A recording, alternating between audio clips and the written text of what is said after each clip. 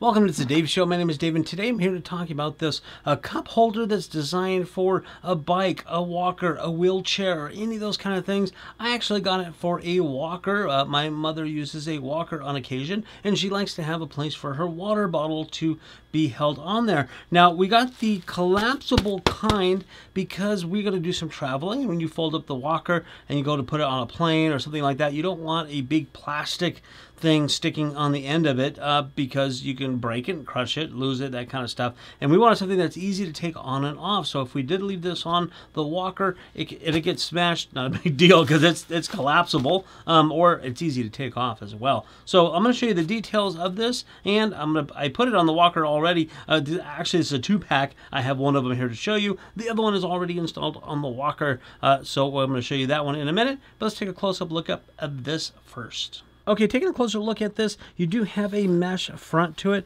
Actually, it has a little compartment here, so if you have like a pen or something uh, small, and then it looks like a bigger compartment here, you can put a cell phone or something in there if you like.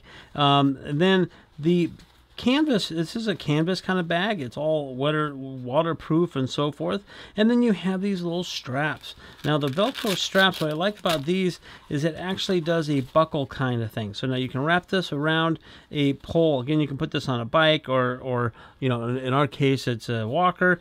And you can pull it up here nice and good and tight and around. And it has a little grippy on it there which is nice as well so you got two of them to keep it nice and secure and then the top part, you do have this little adjuster uh, strap thing. It's a it's one of these little release little things. You can go and tighten this up around the bottle uh, if you need to there. And the inside is waterproof. It is. There's a little liner inside, and there's a hole at the bottom if you can see that. Uh, and that's drainage for water and condensation and so forth. Uh, very nice, very well made. Now let's take a look at this on the walker. Okay, this is what it's like on the walker. Now we have these really thick um, arms to this thing and it fits right on there really good. Uh, just uh, velcros right around and now we have a nice water bottle holder for my mother on her walker. And you see we got put bags and stuff on there and everything's all ready to go for traveling or scooting around town. Very very nice. If you are looking for a good water bottle holder like this these may be the right ones for you